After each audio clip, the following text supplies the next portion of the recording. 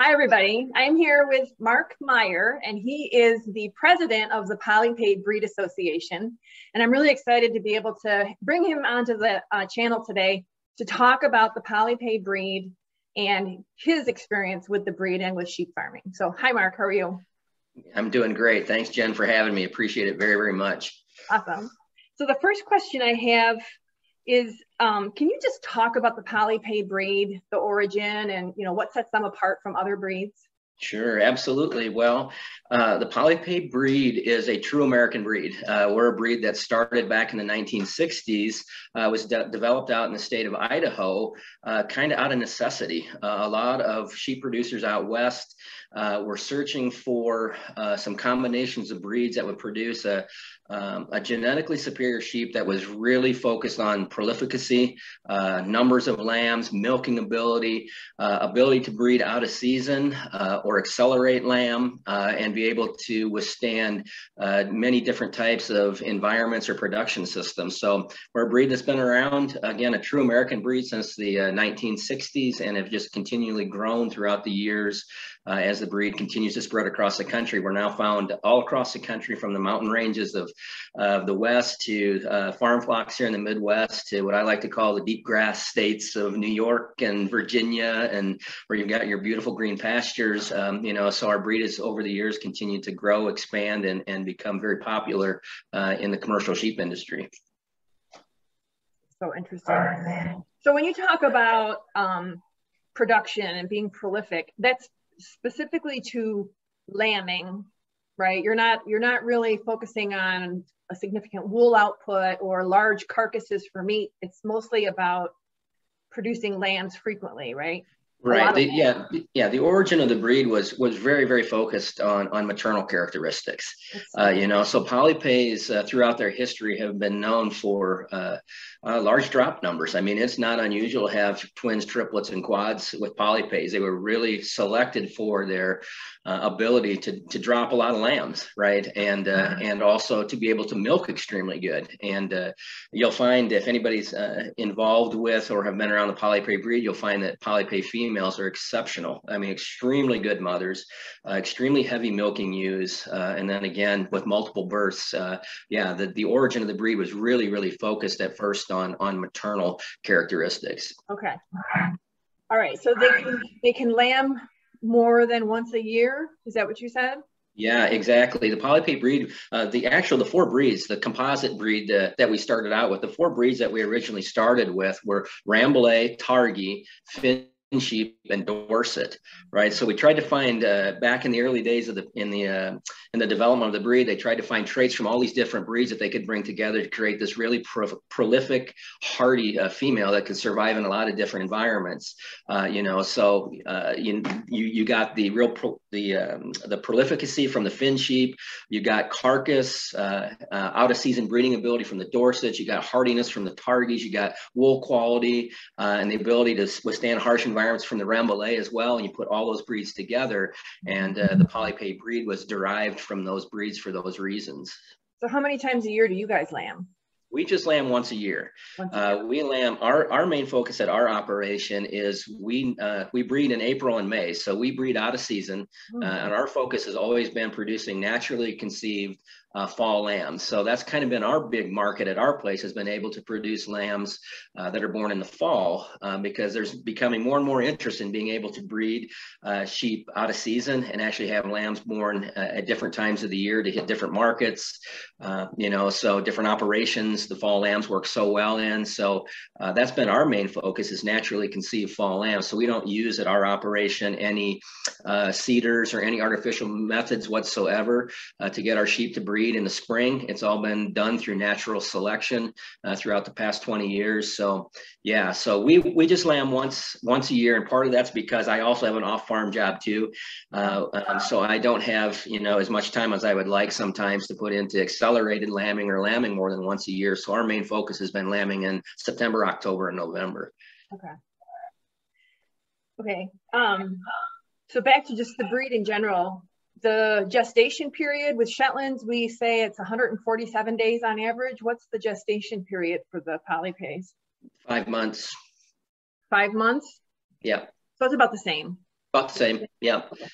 And is that considered fast in the, because I read in somewhere that your, you know, the gestation period is faster with the polypay. Is that? Yeah, Good question. I don't know for sure how much yeah, faster it would be. I know, you know, polypays are traditionally known to be uh, sheep that reach puberty in an early age too, though. So, you know, it could be that, you know, that they are mature at a younger age and, and maybe, you know, maybe that has something yeah. to do with that. I don't know, but, uh, okay. but polypays do tend to mature quickly. Okay. All right. So then the other question I have is I did spend some time on your website and I have to say it was the, the breed website was, well, yours is also very nice, but on the breed website, it's really informative. There's a lot of really good information and I am going to provide a link both to your website as well as your breed association in the comment section of this video.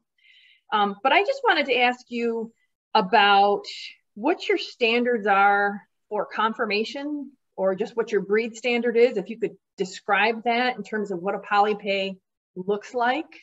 Sure. Um, talk about yep. that a little bit. Yep, it's a well. We are considered uh, kind of a dual purpose uh, wool breed. Uh, uh so you know we are a white sheep, uh, white faced uh, breed of sheep. Um, you know, conformation is very important to all of us in the breed. strong tops, you know, good structure, bone structure, um, not a lot of wool on the face, uh, mm-hmm. uh, cleaner faces, but still, you know, we still, you know, do carry some wool on the face, but a little bit cleaner faces, uh, no black. Uh, uh, I think uh, I have to go back and read the breed standard, but nothing bigger than the size of a quarter, I think, nickel or a quarter on, on a, on a polypay. Um, you know, so traditionally try to keep them as white as, as we can and keep the color out of them. Mm-hmm. Okay. I mean, how if you were to look at a could you look at a polypay and know it's a polypay? What would you yeah. what would you be looking at? What would yeah yeah I, I, guess how when I, I try to describe what a polypay looks like to, to, to people who maybe have not seen them before, I, I think they look very similar to uh, to a Dorset. Okay. Uh, maybe Rambouillet somewhere somewhere in between those two. So again, you know, moderate frame sheep uh, with uh, with with white faces. Um, What's their what's know, their usually their like average weight as adults they'll use? Yeah, well, it kind of varies between farms, uh, but I would say probably the average weight on most ewes in the polypay breed are between 150 to probably 180 to 200 pounds on the bigger end. Uh, mm-hmm. Uh, rams probably around 300 uh, to 350. So I would consider some moderate framed breed of sheep. Mm-hmm. Okay. The Rambouillet is kind of a bigger sheep, isn't it? It is, yeah. yeah. yeah. yeah. But you have to remember too, and within the polypay breed is a Finn sheep, which tends to be a smaller sheep, oh, right? So, yeah. so it all kind of averages out. So I would consider a polypay uh, sheep to be, uh, when compared to most sheep, probably more in the moderate framed uh, okay. size. Okay. All right, so this is a question I wanted to ask you, and this kind of it, it's informed on my with my breeding experience with Shetlands, with the fact that the Shetlands came to North America. There were 30 in this importation that came over from Shetland Islands. And the Shetlanders at that time were crossing their Shetlands with Scottish Blackface and Cheviot in order to get larger frames and bigger fleeces to make more money, but they were still considering them as Shetlands. So when they brought those over here, they all looked like a Shetland, right? So they were correct phenotypically, but then as they would breed, you would see lambs with traits that were more like the Cheviot or the Scottish Blackface. And there's other breeds scattered in there, but those are the two main ones. So, so we're very conscious of that. And, you know, our farm, we're working towards the more pure type Shetland as it's described in the, you know, centuries old standard. And when we see those traits, outlier traits in our sheep, we select out, you know, we call those or whatever. So I was interested when I was reading this that in the 60s, there were the four breeds and of equal proportion to make up a polypay. And my question is, do you ever see an, any, an expression of any one of those four breeds taking over so that it doesn't look like a polypay any longer or doesn't behave like a polypay and maybe behaves more as one of those breeds? Yeah, that makes sense. Yeah, that does make sense. Uh, it makes sense, and it's a it's a really interesting question. Uh, I would say when you look across breeds across the United States, polypay breeders that uh, that are involved in our breed um, nationally, polypay sheep pretty much are very consistent. I mean, they all pretty much look the same. Um, you know, there are some differences though. I mean, there are some slight differences we have seen because so many of our breeders are involved in, in genetic testing, performance testing, because we are a true commercial breed. We're not a show ring breed of sheep. We are really a, a breed that has, from its beginning, focused on commercial sheep production. That's what we do as polypay breeders. Uh, our market is not show ring people, it's commercial um, uh, lamb producers across the country. Mm-hmm. Um, you know, so because we're so heavily involved in genetic testing, uh, many of our members are part of the National Sheep Improvement Program, the NSIP program, where we're, where we're uh, submitting genetic data and, ge and generating estimated breeding values on our sheep.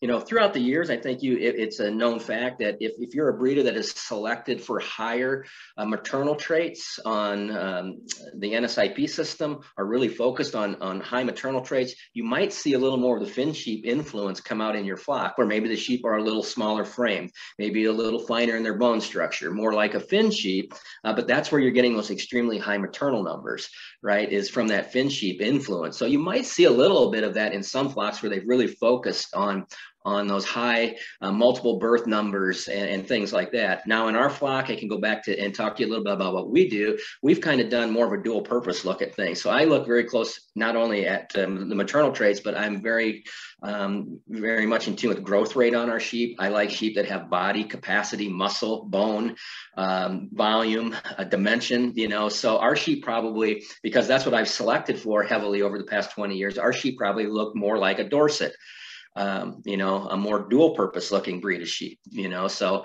but you're right. That's a really great question. You know, uh, I would say you will see maybe some influences in some flocks where they've really selected heavily for those maternal traits, uh, where you might see a little more of the Finn sheep influence uh, start to exhibit itself. Not that that's a bad thing. Uh, no, it's just an, just an observation throughout the years that you may see with um, within polypay flocks.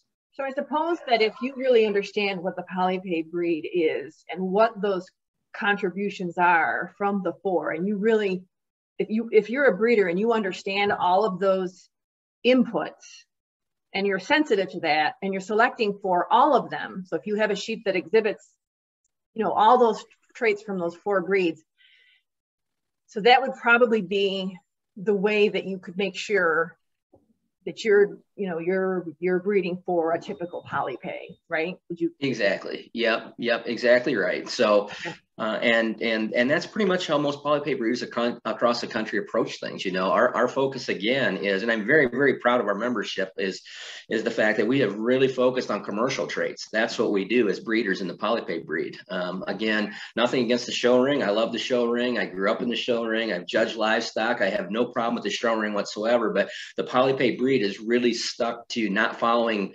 fads or trends, but just really focusing on commercial traits that actually put money in sheep producers pockets, you know. So, and those four breeds that we go back to at the beginning were breeds that we felt economically made the most sense to produce the type of sheep that will eventually put money and be uh, make economic sense to a commercial sheep producer. Yeah. So, so this, um, you know, the reason I'm doing this interview is because, part you know, my guild is doing a, a wool or a breed study on the wool of sheep. And you and I have talked already that you really are more focused, just you just said, on the commercial side. There is an interview I'm going to be doing in a couple weeks with another one of your breeders in your organization, and she's focused a little more on the wool. So we're going to cover that in her interview, and I'm not going to. Um, we're not going to talk about that. So if any of you guys are watching this wondering, you know, why I'm not covering that, it's really more about um, what makes this breed what they are, what makes this breed um, different from all the others, and that's you know that's the goal here for this interview. So what I mean, what is the biggest challenge right now for the polypay breed? What would you say is the thing you're keeping you up at night as the breeder? Yeah, this is a the, the biggest challenge we have as polypay breeders right now, and this is uh, is a good challenge. Is demand for our genetics right now is so high uh, that we simply are not producing, cannot produce produce enough, especially females, ewe lambs uh, for commercial producers as as needed right now. Uh, mm-hmm. Obviously, if you're in the sheep business, you know the sheep market has been extremely good. Uh, we're seeing uh, young people getting into the commercial sheep business. Uh, you know, which is exciting. Uh, demand for our sheep across the country is as high as I've ever seen it in 20 years uh, because people are trying to rebuild flocks, start flocks, really focused on the maternal traits uh, where they really have a sound, solid maternal foundation in their flocks. And polypay genetics have kind of risen to the top of the sheep industry right, right now in terms of, uh, the, you know, producing a, a, a genetically superior sheep that can work in many different environments from confinement to mountain ranges to pastures to farm flocks. Uh, our sheep work in all those environments, and because of that, and uh, you know, and with the markets the way it's been, people have have money to spend on good genetics now, and we've just seen an extremely high demand for our genetics right now, and uh, so that's a good problem to have. But uh, you know, we, I wish we could produce more um, uh, for the demand that we have for polypay genetics right now. How many active breeders are in your organization? Oh goodness, uh, Just roughly. Roughly, I would say 150 maybe more. I'd have to go back and look. I haven't looked at the number lately, but uh, yeah, it's uh, it's we're not obviously not the largest breed of sheep in the country um, in terms of registrations and, and that type of thing. But uh, we are, I would say, probably when you look at the commercial sheep industry, probably one of the top one, two, or three breeds that in, that probably have the most influence within the commercial sheep industry right now. So uh, very sought after uh, breed of sheep uh, for commercial producers. Right. So what's an average flock size then, just to get a size? Average flock size uh, yeah. of actual breeders or the commercial people that we work with? The polypay breeder community. Yeah. It's a that's another uh, it's it's so diverse you know here in illinois where i live uh, we run 35 ewes because that's all the grass we have. We've got enough pasture grass here in the midwest to, to maintain about 35 ewes and that's right. it. However we have uh, you know breeders that have a thousand ewes you know uh, you know so it just kind of depends on your environment where you're at and and how much uh, grass uh, you've got available for, for your flock you know? So uh, it just varies in size which is one of the unique things about the polypay breed is you've got farm flocks big range flocks out west uh, confinement flocks here in the midwest now too all producing genetics. So we have many different uh, diverse backgrounds in terms of production systems for our genetics. So who is your customer? Can you give me a profile of who you sell to Yep, uh, customers. Uh, you know, in our case, it could be range producers in Utah. Uh, you know, uh, that are looking for sheep that can breed out of season. They're looking for sheep that are hardy, maternal, can handle, you know, the mountain environments. Uh, Midwest uh, has become a huge market for polypay genetics or Midwestern flocks, where again, they're looking for multiple births, ability to breed out of season, work in many different production systems uh, from confinement to pasture uh, to dry lot uh, to east. We're seeing a huge uh, market now for polypay sheep out east, um, uh, where they're looking for maternal sheep that they can cross to make uh, really good 80 to 90 pound market lambs for ethnic markets and, and restaurant trade and things like that. So we're seeing a, growing number of people using polypay genetics in the eastern United States now as well. So the most of your customers are breeders as well. You're not you're not selling to market. You're from your flock, right? Exactly. So our our our focus at, at our farm at Big Prairie Polypays is to focus on producing a really uh, genetically superior sheep that is extremely good from a structure and phenotype uh, standpoint. Mm-hmm. And our market is selling to commercial producers around the country that are trying to improve their flocks uh, by implementing our genetics into their flocks to try to improve uh, the overall economic value uh, of their uh, of their sheep flocks as well. So. I gotcha. That makes sense. Okay. All right. So I guess the last question I've got for you is, can you just talk a little bit about your journey? What got you into sheep and, you know, what's yep. your story? Yeah, so our, my story is uh, I grew up on a diversified grain and livestock farm here in Illinois. Uh, so I've been around livestock my whole life, uh, grown up mostly around hogs, though. We were in the purebred hog business growing up. So everything I really learned about livestock selection and learned about livestock production, I learned in the hog business. Oh. my, grand, my grandfather uh, also raised sheep when I was growing up. And I always enjoyed working with him and being around him with the sheep. So I think when I got to, to my own farm, got my own place set up, it was, uh, you know, I was, we had some pasture. It made sense that maybe sheep would be the right fit for uh, the operation that we that we were moving to. Uh, so we started searching around, and uh, through our local uh, FFA advisor at our local high school, he suggested that we buy some Polypay genetics from a friend of his uh, and at that time, if you would have asked me what a polypay was, I would have been clueless. I would have had no idea um, because I had uh, uh, I wasn't really that familiar with the polypay breed. But I am so thankful looking back on it now that polypays were the breed that we started with and have stayed with because of the easy keeping nature of the sheep, uh, the extremely good mothering ability of the sheep. For somebody who came from a hog background and getting into the sheep business, they were the perfect breed of sheep for us because they took care of themselves. Right? Uh, they weren't high maintenance sheep which was good. Uh, you know, so we we started with with a with a very small flock and have, have grown it. We've had up to 70 ewes.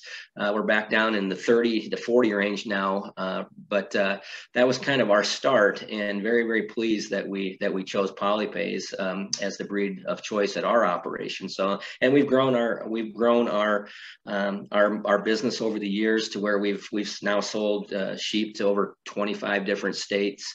Um, so we've we've um, been, we feel, pretty successful in producing good genetics for for uh, sheep producers all across the country in many different environments and production systems, and have a really wonderful customer customer base of, of great sheep producers that are really focused on commercial production across the United States. Yeah.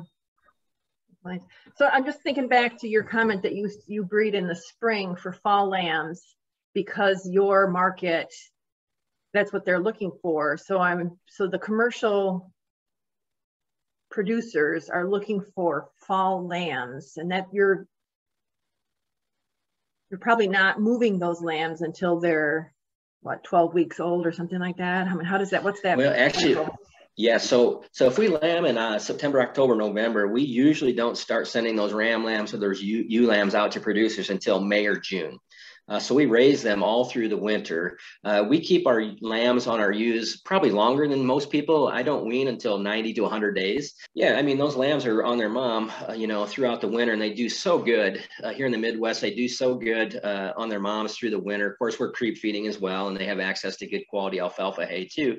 Um, you know, so that that's really worked well for us. And then those lambs grow so nice through the winter into the spring, and then we start sending those sheep out to to the different customers across the country. Usually in May and June is when we'll start sending genetics out to go to work for people. So.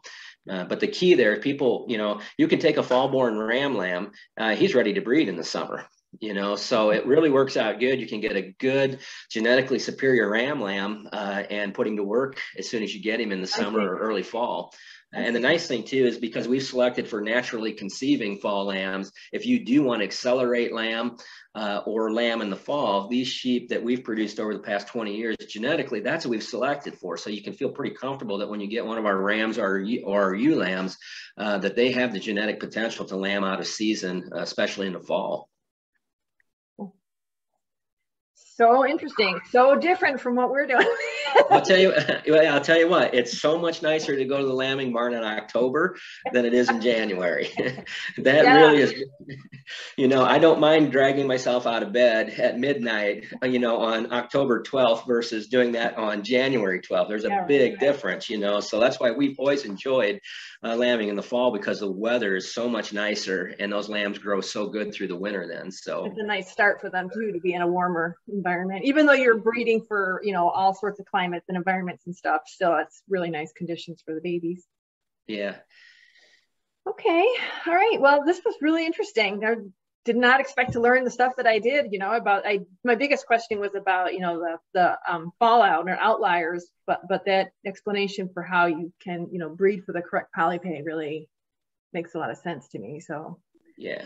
So great. Well, thank you so much. Is there anything I didn't ask you that you wanted to talk about well, or say about? I'll tell you, if, if, if people want to see what we do, uh, we're on Facebook, obviously, at Big Prairie Polypays.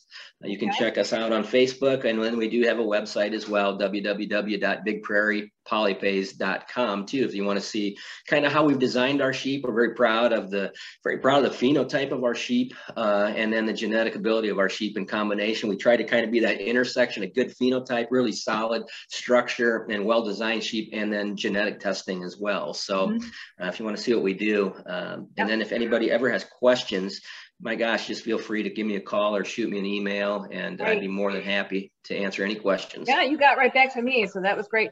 I think um, probably my audience is going to want to know, you know, about fleeces and stuff, right? They're going to yeah. ask me, you know, does, does Mark sell his wool to hand spinners? and um, what do you do? Like, what is your now that I think yeah. So on the wool side, we do shear twice a year, and uh, you know um, we we do our our sheep do shear well. I mean, they shear heavy fleeces. Uh, our our shear uh, comment always comments on the quality of our wool uh, that it's very good quality. So we actually market through a local wool company here in in Illinois. Uh, they take all of our wool. So uh, we shear twice a year, and all of our wool goes to a company called Groenewald Wool here in Forreston, Illinois, which is just not too far away from us. We're very fortunate to have a wool company not far away and sheep shears in the neighborhood. What's that? Is that a mill? Uh, they just collect. Uh, they just are kind of a wool buyer. Like a broker. Uh, okay. Yeah, they're a broker. I think most of their wool eventually ends up in China. Uh, is is where I think it goes. Uh, but uh, we're fortunate to have them close, and we and fortunate too to have somebody that shears sheep in the neighborhood as well, because that's not the easiest thing to find either nowadays. Oh, is, is, somebody who shears sheep. We shear before we go to we before we breed. Obviously, we'll be shearing here in the next couple of weeks because we're going to turn rams in probably by the end of April, uh, mm-hmm. and then we'll go ahead and shear those sheep again when we bring them home off of pasture uh, in September, and before we start lambing again. So we'll For sanitary. So, mm-hmm. Yeah, yeah, we just like to get the wool off of them for those reasons. Of course, going through the summer keeps them cool cooler. And then going into the winter, believe it or not, it keeps them, uh, you know, if you're in the wool, uh, been around sheep and wool, it keeps them drier, uh, you know, uh, in the winter too, having all that wool off of them, yeah. you know, and more comfortable through the winter too. So, but uh, we really, because we shear twice a year, we don't really ever see a, a super long length on the wool because because we do it twice a year. But right. um, you know, our ewes on average, I would say probably shear, you know, 10, 12 pounds a year somewhere in there. I don't know if that's good or bad or or otherwise. Yeah, there's no yeah, it doesn't that's not something that there's no um it's not really a thing with hand spinners in terms of the weight of the fleece. Um yeah. it's more about that staple. Yeah. Dimension. So would you say it's more like one and a half if, if you're shearing twice a year, which is still yeah. fine. Yeah. Okay. Yeah. No, on wool quality on polypays has always traditionally been very good because there are some wool breeds in our background, you know. Yeah, so right. so the polypay does have uh, has really good wool quality. Yeah. Uh, and you'll get to talk to your you know, to Ann Salmons about this because she's heavily involved in spinning and and and wool uh, and wool quality, and she'll be able to fill you in more on this. But uh, as yeah. I kind of told you earlier, because around here when we shear, we just assume that we're not going to make money on our wool I've mm-hmm. never, believe it or not, made a dime selling wool.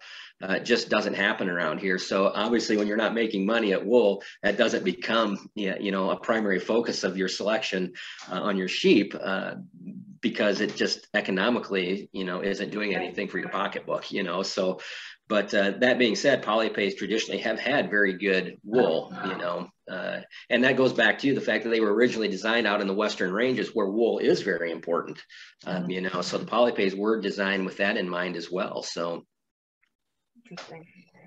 Very cool. All right. Well, I really appreciate your time. This was a lot of fun. Enjoyed getting to know more about the breed and talk to you for a little bit. So thank you. Yeah, so well, I, I appreciate you taking the time to talk to us, and uh, you know, I really enjoyed it, and look forward to seeing uh, seeing the show. And uh, if you need anything else, let me know. And if any of your viewers have any questions, just tell them to let me know, and, and I'll be more happy more than happy to answer their questions. All right, sounds great. Thank you so much. Thanks, Jen. Appreciate it. Bye bye. Bye bye.